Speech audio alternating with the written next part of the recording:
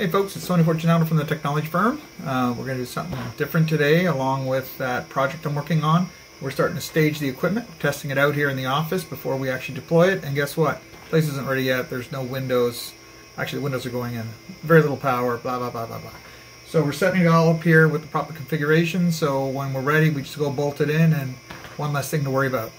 Um, so I'm going to walk through a few slides and it's not meant to be an exhaustive configuration review, so please don't worry, it's not a PowerPoint dance.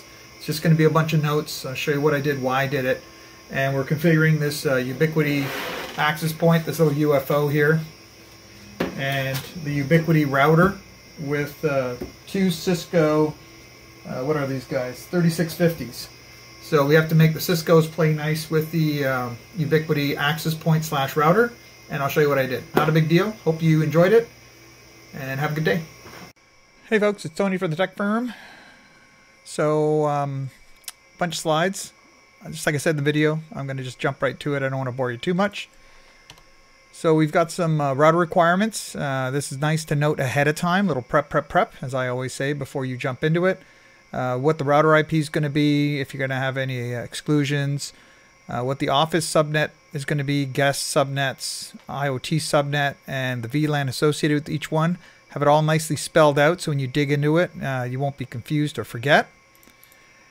And a little network diagram. So there's two switches. That top one is just VLAN 1. The bottom one is going to be VLAN 1, 100, and 200. And we're going to have access points off every single one. Down here is our Ubiquiti router.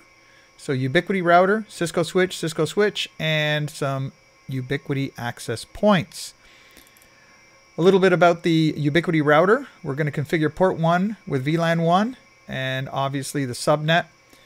Port 2 is going to be the guest network, VLAN 100. Port 3 is going to be the IoT or AV network, and that is going to be VLAN 200. So every port is going to be uh, its own network and the router is going to handle DHCP. You don't need to do it that way. It's just the way I'm doing it with this example. We're going to take the internet off the copper port. Uh, it's obviously, if they want to use fiber later, it's not a big deal. We just change the config later.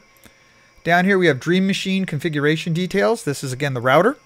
And what are we doing? Well, obviously the DHCP server is going to have an exclusion. We're going to have a range of addresses that we're going to use and a range of addresses that we do not want to be assigned via DHCP. So in this case, 2.100 through 2.250 is going to be available and assigned. Everything up to 100 is going to be reserved for things like printers, um, access points, whatever we want. Uh, and that way we'll have a nice chunk of addresses we can play with.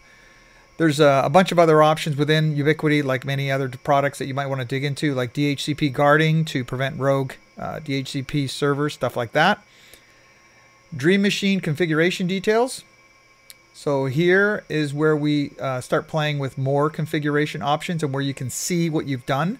So this is a different subnet 100. And it's funny because what Ubiquiti does, it says, okay, you want the full range, great.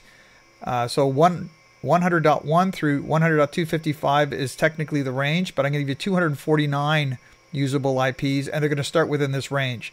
So by default, it blocks off 1 through 5. So that's kind of nice, right? Just so you know what they do. Down here is where we associate that network and port with a VLAN ID. So this is VLAN 100. And then the next one would be VLAN 200. When you take a look at the configuration details when you're done on that router, this is the router, you can actually see that port 1 is the LAN, right? That's what I was connected to. VLAN 100 is that network that we just saw in the configuration. And VLAN 200 will have its own subnet as well. On the Cisco configuration side, uh, we ahead of time I said I'll give the switch two IPs. Again, these were within that reserved excluded range uh, in that DHCP scope. We have VLAN 1, which is the office, and it's going to be plugged into switch 6. And all the ports on um, this switch, uh, switch 7, will be 1 through 12, and all the ports on switch 6 are associated to VLAN 1. There you go, I got that out. VLAN 100 is going to be uh, switch 7, that's the next switch. Ports 21 through 24, that's the guest network. And the AV network is VLAN 200, which is switch 7, ports 25 through 48. The Ubiquiti access points are going to be ports 13 through 20, is just something I threw in there right now. Sample Cisco configuration. This is what we did uh, for the trunk port. And that's what the Ubiquiti access point requires because it's going to be looking for three different VLANs. We got VLAN 1, 100, and 200. So the description, I just put Ubiquiti access point trunk port, switch port, trunk allowed, these three VLANs. And the mode's going to be a trunk. And then I threw in spanning tree port fast trunk. You don't need to do that bit. I just do it as just part of habit. And the Cisco trunk port, this is the connection between the two Ciscos. Uh, again, this could be copper, fiber, whatever you want. And we have switch port, trunk allowed VLAN 1, 100, 200. The mode is trunk, and that's pretty well it. So now when we plug in our access point and we're actually logged into the router, the router has the software to, to handle the access point. So the controller software is built into, built into the router. It just pops up. And now the Ubiquiti terminology is adopt. So when you click adopt, it adds it to the actual controller. And then from there, you can go and assign uh, what networks you want it to advertise or support. So from this, you can see guest is VLAN 100, the AV IoT is 200, and there's a default VLAN as well. So it's actually pretty easy, right? And I want all three, so I support all three of them. And then when you're all done, you can actually take a look um, at the access point configuration if you like. I always have a, a kind of a standard. So this network is going to be called people require proper access with a descriptor and a number. So PRPA guest, PRPA office, PRPA AV IoT, and then whatever the password happens to be.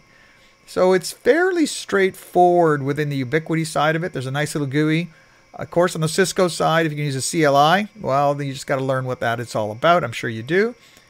Then test, test, test. So on the Wi-Fi side of it, I connect to the office Wi-Fi network, and guess what? I got an IP for that subnet too. And then I connected to the guest network, and then I got an IP on 100. And then of course I surf the net, I ping stuff, all that good stuff, and everything went just fine. So it's important to have your configuration laid out ahead of time, get your configuration done, and test, test, test, test, test. That's it, folks. I kept it quick, short, and sweet. Have a good day. Bye for now.